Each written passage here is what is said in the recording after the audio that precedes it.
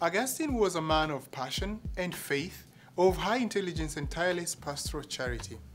He has left a very deep mark on the church's cultural, moral, and theological life.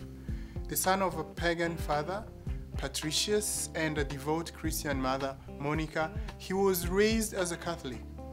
As was frequently the custom of, at time, he was, however, not baptized as a child.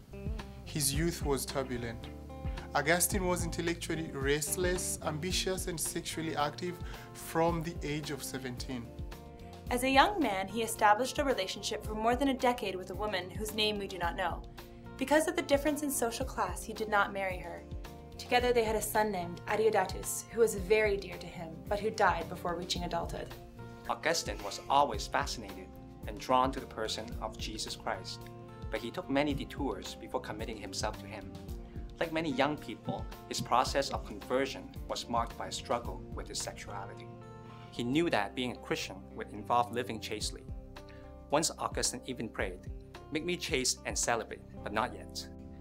After a long and tormented inner journey, and helped by the prayers of his mother, he was finally baptized by St. Ambrose in 387 in Milan.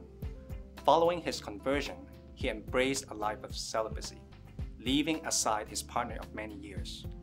Augustine then returned to his homeland in North Africa. After founding a monastic community, he was ordained a priest, and later the Bishop of Hippo. He was a prolific writer, a man of unsurpassable psychological and spiritual insight, and a vigorous defender of the truth and beauty of the Catholic faith.